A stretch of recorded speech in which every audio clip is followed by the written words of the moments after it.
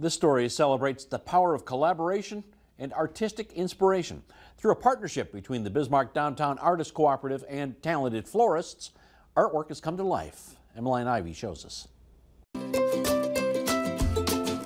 At the Bismarck Downtown Artist Cooperative, you'll find creativity and expression in every corner.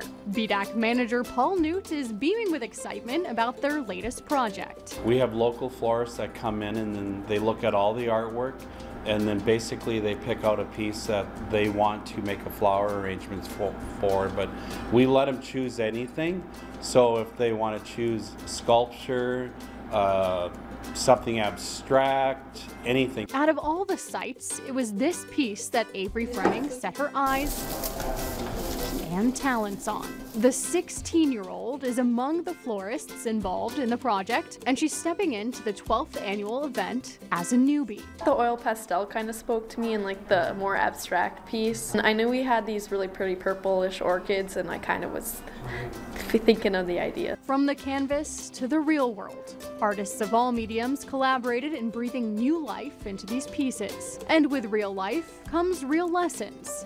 Lessons the public can now learn from this art. There were a few surprises where they jumped out of their comfort zone and I think that's like everyday life. Um, sometimes as in individuals we have to jump out of our comfort zone.